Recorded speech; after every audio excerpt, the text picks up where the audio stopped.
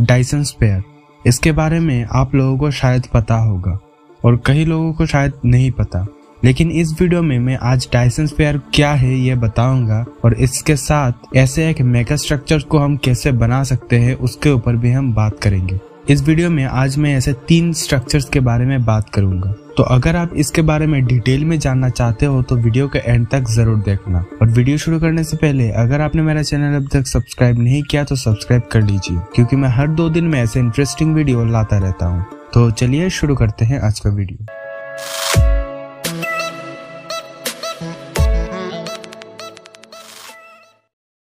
अब Dyson sphere होता क्या है? इससे पहले हम जान लेते हैं कि इस स्ट्रक्चर का आइडिया कहाँ से आया। ओलिव स्टेप्लेडोन जिन्होंने एक नॉवेल लिखा था, जिसका नाम है स्टार मेकर जहाँ पे उन्होंने सोलर एनर्जी के ऊपर बात किया था कि हम कैसे उसके एनर्जी को ज़्यादा से ज़्यादा इस्तेमाल कर सकते हैं। फिर फ्रीमेन डायसन जिन्होंने डायसन स्फेयर का आइडिया हमारे सामने रखा 1960 को। डायसन स्फेयर बेसिकली एक हाइपोथेटिकल मेगा स्ट्रक्चर है, जो हमारे सन से सारे एनर्जी को स्टोर करेगा और फिर हमारे लिए वो यूजेबल बनाएगा।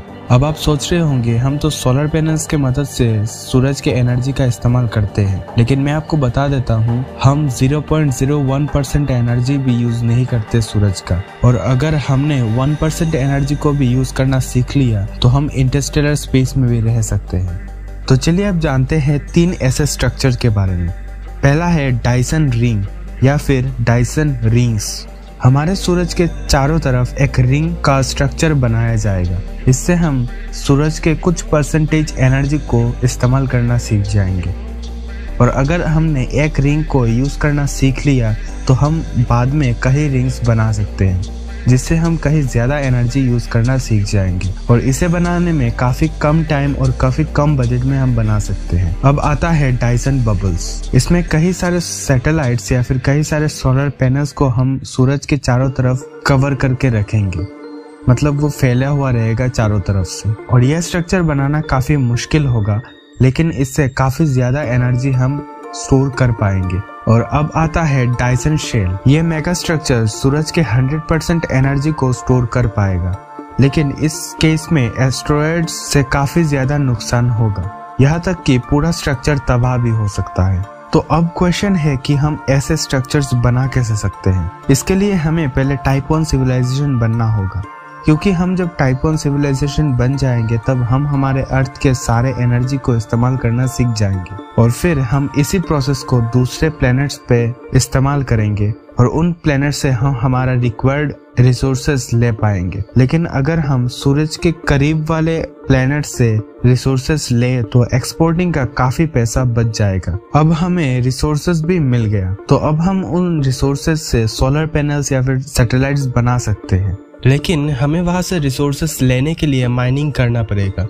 तो अब हम माइनिंग कैसे करेंगे? हम इंसानों को वहाँ दूसरे प्लेनेट पे भेजकर माइनिंग नहीं करवा सकते, क्योंकि इसमें काफ़ी ज़्यादा टाइम लगेगा और इंसानों को स्पेस में भेजना काफ़ी ज़्यादा रिक्सी है और काफ़ी ज़्यादा खर्चीला भी। हमें यहाँ पे रोबोट्स का इस्तेमाल करना पड़ेगा, जिसे हम कम टाइम में और कम बजट में यह काम कंप्लीट कर सकते हैं। लेकिन कुछ इंसान इंटरस्टेलर स्पेस में रहकर उन्हें कंट्रोल करेंगे। अब हमें रिसोर्सेज भी मिल गया। तो अब हम उन रिसोर्सेज से सोलर पैनल्स या फिर सैटेलाइट्स बना सकते हैं। फिर हमने सोलर पैनल्स या फिर सैटेलाइट्स भी बना लिया। अब बारी है लॉन्चिंग का। लेकिन अगर हम स्पेसक्राफ्ट से लॉन्च करें तो इसमें काफ़ी ज़्यादा पैसा खर्च होगा। उसके लिए हमें मिसाइल लॉन्चर की तरह कई लॉन्चर्स बनाना होगा, जिससे कि हम काफ़ी कम टाइम में और कम बजट में ज़्यादा सैटेलाइट्स या फिर सोलर पैनल्स छोड़ सकते हैं। अब मान लो हमने एक सैटेलाइट छोड़ा और उसने अपना काम करना शुरू कर दिया। वो एनर्जी को स्टोर करेगा और ट्रांसफ़र करेगा हम तक। और हम उस एनर्जी को इस्तेमाल करके बाकी के सैटेलाइट्स भी बना सकते हैं। और इस प्रोसेस से हम काफ़ी जल्दी पूरा स्ट्रक्चर बना सकते हैं। और अब फाइनली ये पूरा स्ट्रक्चर तैयार हो चुका है। यानी हमने डाइसन फेयर बना लिया। अब हमारा जो टेक्नोलॉजी होगा, वो हमारे इमेजिनेशन से भी बाहर है। हमारे पास अब ऐसा एनर्जी मौजूद है कि हम यूनिवर्स में किसी भी कोने में कम टाइम में जा सकते हैं। और कई साइंटिस्टों का ये कहना है कि इस यूनिवर्स में ऐसे भी एलियंस मौजूद है जो हमसे भी ज़्यादा एडवांस होंगे। तो अगर हम डायसन स्फेयर बना ले और हमारे पास उतना एनर्जी हो जाए कि हम इस यूनिवर्स में कहीं पे भी कम टाइम में जा सके तो हम उनके बारे में भी जान सकते हैं। हम उन एलियन सिविलाइजेशन को ढूंढ सकते हैं और हम ये भी जान सकते हैं कि वो हमसे कितना ज़्यादा एडवांस है। तो जैसे कि मैंने अपने पहले वीडियो में कहा था कि टाइप वन सिविलाइजेशन बनने में हमें अभी भी सौ साल बाकी है।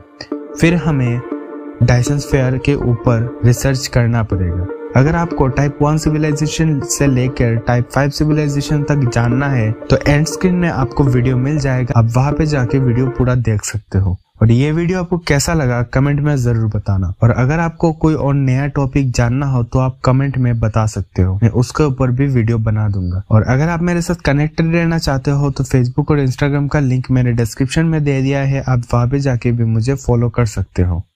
तो चलिए दोस्तों, मिलते हैं अगले वीडियो